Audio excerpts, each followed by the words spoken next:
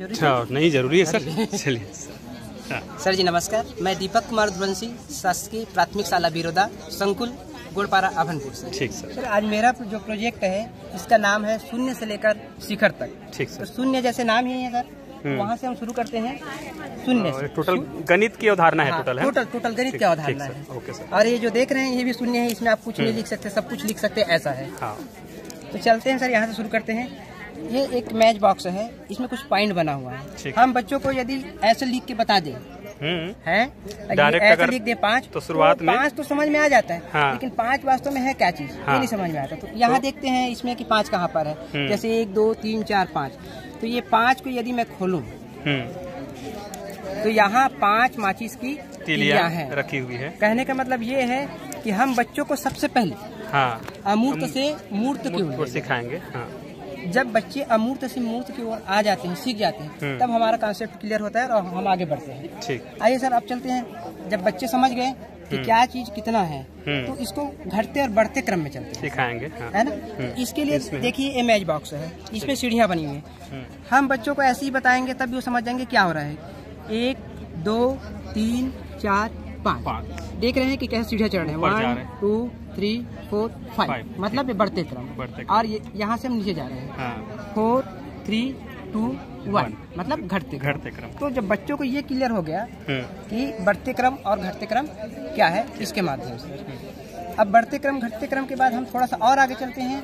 तो बच्चों को बताते हैं क्या? पूर्ववर्ती और परवर्ती। हाँ क्योंकि बच्चों को ज़रूरी है ये चीज़ पूर्ववर्ती और परवर्ती, जैसे यहाँ देखते हैं पाँच।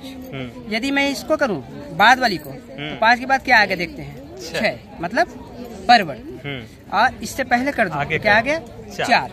मतलब पूर्ववर्ती। ऐसी सारी संख्याओं में हम कर सकते हैं। और ये भी खाली मैच बॉक्स है। हाँ, जैसे नौ के बाद दस और नौ से पहले अंक पहले से लिखे पहले हैं से हाँ? लिखे हुए सभी में मतलब। हाँ। दो अंक वाला में भी? जी जी बिल्कुल। दो अंक में भी जैसे ये बाईस बाईस के बाद तेईस। तेईस और इधर आए तो इक्कीस। इक्कीस। ठीक वेरी गुड अब जब पूर्ववर्ती परवर्ती समझ गए बच्चे हम्म। तो उनके लिए ज़रूरी हो जाता है स्थानीय मान। हम्म। तो जैसे सर ये स्थानीय मान में यहाँ एक और बनाया हूँ मैच बॉक्स से। स्थानीय मान अंकित या जाति मान या विस्तारित विस्तारित रूप। तो जैसे हम एक यहाँ पर एक संख्या लिखते हैं कोई भी संख्या। कोई भी जैसे दो पाँच छः आठ कोई भी संख्या। हाँ दो हज़ार पाँच सौ अड़सठ। तो इसको क्या करेंगे सर? इस बॉक्स में हम लिखेंगे सर। हाँ। इसमें ये दो हाँ। ये पाँच ये छः और ये हाँ। आठ। अब देखते हैं जैसा प्रश्न आया है मान लो। मान लो प्रश्न आया है कि पाँच का स्थानीय मान बताइए। हाँ इतनी बड़ी संख्या में हाँ, पाँच का बताना का स्थानीय मान केवल पाँच का बताना है। स्थानीय मान हम ऊपर लिखे हैं तो पाँच हाँ। को क्या करेंगे? अप करेंगे ऊपर करेंगे। हाँ। तो हमें पता चलता है कि पाँच का स्थानीय मान पाँच पाँच सौ है। यदि यही प्रश्न इसके बारे में पूरा आ जाए कि इसका विस्तारित रूप सभी का। सभी का। टोटल तो विस्तारित रूप में क्या करेंगे? सबको हम नीचे ले जाएँगे। नीचे हाँ। करने से क्या होगा ये? सबका अलग अलग हाँ। ये पाँच सौ और ये साठ और ये आठ। मतलब दो हज़ार धन पाँच सौ धन साठ धन आठ। इस प्रकार कोई भी यदि संख्या है तो हम्म। बच्चे स्वयं से इसमें करके हल कर पाएँगे। हम्म हम्म, और बच्चों के लिए बड़ा ही आसान ये वो है। और आसानी इसके बाद इसको आप इसको मिटा सकते हैं क्योंकि दूसरा अंक भी लिख सकते हैं हाँ, कोई भी डिजिट के लिए हाँ, कोई भी डिजिट से लागू हो जाएगा। ठीक। व्हाइट बोर्ड मार्कर चाहिए और इसमें क्या है? लेमिनेट चाहिए। एलिमिनेशन झिल्ली चिपका के बनाया गया जी जी। ये बढ़ते क्रम हो गए सर। अब आते हैं बढ़ते क्रम के बाद गुना। गुना। ठीक। गुना में आजकल क्या करते हैं बच्चे? पहाड़ा तो याद करते हैं नहीं करते हैं? बात की बात। कैलकुलेटर हाँ। लेके बैठे हैं या। मोबाइल लेके। तो हाँ। उसके लिए बढ़िया सा कैलकुलेटर ही समझ सकते हैं। हाँ। जैसे कोई एक संख्या है सर जैसे ये आठ। मैं आठ सत्ते करना चाह रहे हैं, हाँ। तो ये मैं लेके जाऊँगा किसमें आठ एक आठ में जाएगा, सत्ते मीन सात में। और ये जो बीच में जो आया है ये हाँ। क्या है। इसका? आंसर है। हाँ, आठ सत्ते छप्पन। ठीक। ये दस तक है इसको हम आगे बीस तक पच्चीस तक बढ़ा सकते हैं इसको बीस पच्चीस और इसको को बड़े कर सकते हैं। हम्म। तो ये मल्टीप्लाई का एक बढ़िया टीएलएम तैयार हो जाता है सर हम्म। सर जैसे ये गुना हुआ गुना के बाद यदि हम आए आगे ये गुना गुना के बाद आगे औसत। तो औसत हम्म। औसत क्या कहता है सर? इसको भी देख लेते हैं औसत का। ये देखिए। सर औसत। आंकड़ों का योग बटे आंकड़ों की संख्या। तो कहा जा रहा है तो एक अपन विंडो रख के देखते हैं तो ज़्यादा समझ में आएगा कि ये क्या होता है। जैसे इसमें लिखा। ये। एक दो तीन चार पाँच संख्या। पाँच। यदि इन पाँचों संख्या को यहाँ लिख दूँ मैं एक हाँ। धन ग्यारह धन इक्कीस धन इकतीस धन इकचालीस चालीस को। और उसके बाद भाग किससे देना है? एक दो तीन चार पाँच संख्या। आंसर क्या आएगा? ट्वेंटी हाँ, बीच की संख्या। हाँ, ऐसे ही हम इसको हर एक जगह कहीं पर भी ले जाए। कहीं पर हाँ। भी ले जाए। हाँ। ये जो सेंटर में आएगा ही क्या उसका औसत होगा। ऐसे ही बहुत सारे विंडो जैसे पाँच अंक का है। हाँ जितने अंकों का आप हाँ। विंडो बना सकते हो। हाँ, तीन अंकों का है या और अधिक हाँ, संख्याओं अधिक हम्म। ये नौ अंक ऐसे। और मान लो और ज़्यादा अंकों का आपको बनाना है। इस हाँ। तरीके से आप बहुत बड़ा विंडो बना सकते हैं। हाँ। जैसे 81 डिजिट का है। हाँ हाँ। इस प्रकार से। हाँ, काम हाँ। वही करेगा फार्मूला वही। यहाँ हमारा उद्देश्य ये है बच्चों का कि गणित से ज़्यादा रोचक विषय कोई है ही नहीं। है नहीं। है ना? इसको इसके डर भय उसको बताना है कि गणित जो है सबसे इंटरेस्टिंग सब्जेक्ट है। हाँ। और उसमें यदि उनका मन लग जाए तो हाँ। फिर गणित। चलिए सर हाँ। औसत के बाद मेरा मुख्य जो है एल सी एम कॉन्सेप्ट जी जी बिल्कुल जैसे आप बोले एल हम्म। जबकि मैं यहाँ से देख रहा हूँ सर एल नहीं देख रहा हूँ मैं देख रहा हूँ एम सी एल हाँ, और हाँ। मैं एम सी एल ही पढ़ाता हूँ एल हाँ। पढ़ाने से बच्चे भ्रमित हो जाते हैं हाँ। तो चलते हैं ये एम सी एल एल। क्या चीज़ है हाँ। चलिए सर जैसे हम दो संख्याओं को लेते हैं हम्म। उदाहरण के लिए पाँच और तीन हम्म चलिए पाँच और तीन का मैं दो संख्याओं का ले रहा हूँ हम्म। एलसीएम हम्म। इसमें क्या होता है देखते हैं मैंने कहा एम सी एल एम का मतलब मल्टीप्लाई हम्म। गुना करके देखते हैं किसका? पाँच पाँच का। तो गुना मतलब जो साधारण हम पहाड़ा पढ़ते हैं। हाँ।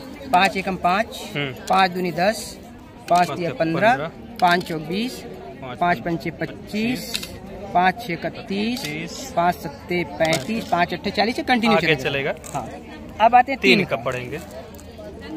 तीन एकम तीन तीन दूनी छः छः। तीन तिया नौ तीन चौक बारह तीन पंचे पंद्रह तीन छः का अट्ठारह तीन सत्ते इक्कीस तीन अट्ठे चौबीस तीन नियम सत्ताईस तीन दहम तीस तीन ग्यारह तैंतीस तीन बारह छत्तीस ये चलते रहेगा सर। आगे तो पहला काम क्या हो गया? पाँच का टेबल और तीन का हम लोग क्या किए? मल्टीप्लाई हाँ, मल्टीप्लाई हुआ अब आते हैं सर मेरे हिसाब से सी में। सी मतलब common common factor common factor कौन कौन सा है सर? देखते हैं इसमें। ये आया है पंद्रह। पंद्रह में आया है। और आया है तीस। तीस में तो पंद्रह और तीस आया है सर? तो दूसरा काम भी हो गया। मल्टीप्लाई भी हो गया कॉमन अब आते हैं लिस्ट छोटा कौन? छोटा संख्या। तो तीस और पंद्रह में छोटा कौन है? पंद्रह। पंद्रह। हम्म। तो हमारा एलसीएम क्या आएगा? पाँच और तीन का? पंद्रह। पंद्रह। ठीक। इस प्रकार एलसीएम का एलसीएम के लिए एक और बढ़िया सा मैं विंडो बनाया हूँ सर। आप देखना चाहेंगे तो मैं दिखा देता हूँ। हम्म, इन्हीं दो संख्याओं का देख लेते हैं। हम्म। ये देखिए ये जो नंबर है एक से सौ तक ही है।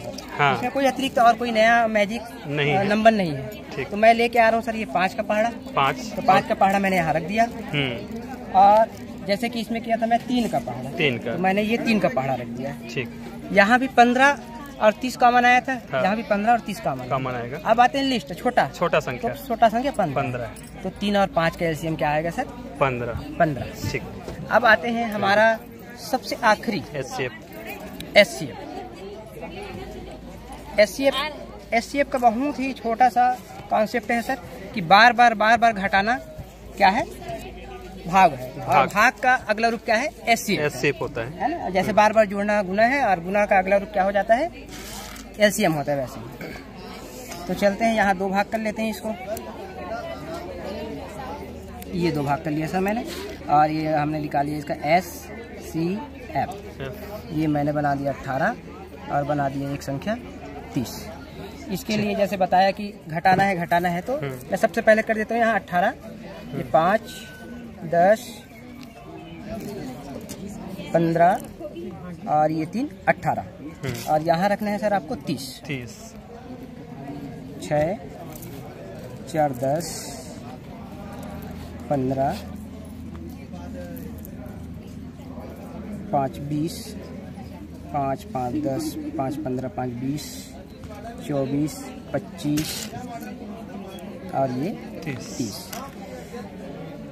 इसमें सर बच्चों को यही बताना है उनके हिसाब से कि इनके पास कम संख्या अट्ठारह और इनके पास ज़्यादा संख्या है तीस। तो हमको क्या करना है इसको बराबर करना है। बराबर। है ना? तो बराबर कैसे होगा कि जो अट्ठारह है ये बोलेगा कि इनके से हम्म। क्या करना है अट्ठारह कम कर दीजिए। तो इसे मैं अट्ठारह कम करता हूँ। ये दो दो चार दो छः दो आठ दो दस बारह चौदह सोलह और ये अट्ठारह अठारह। अब देखते हैं सर देखने से दिख रहा है कि ये ज़्यादा है और ये हाँ, कम है। कम है। तो इनका शिकायत ये है कि जितना मेरा हाँ, है उतना आप इनसे कम करवाइए क्योंकि आप मेरे से कम करवाए थे। हाँ। तो अपन देखते हैं इसमें कितना है चार और ये चार आठ और चार ये बारह है। बारह तो। इसे हम बारह कम कर देंगे। बारह कम करेंगे। ये चार तीन सात दो नौ दो ग्यारह और एक बारह। बारह। अब ये शिकायत कर रहा है हाँ। कि मेरा कम हो गया इनका ज़्यादा हो गया। तो मैं मेरे पास जितना इन, इनका क्या करना है? कम कम कर दीजिए चलिए कितना देखते हैं? तीन और तीन? छह। तो यहाँ से तीन और तीन ये छह में कम कर करेंगे। ये छह हटा दिया मैं। हम्म। अब देखिए सर दोनों में बराबर दिख रहा है। बराबर है। इनके पास भी छह है इनके पास भी छह। मतलब अट्ठारह और तीस का क्या है? एस सी मतलब छह के पहाड़ा में ये दोनों संख्या आने वाला है। आने वाला है। ठीक ये एस होता है। एस ठीक सर। वेरी गुड धन्यवाद, ठीक धन्यवाद।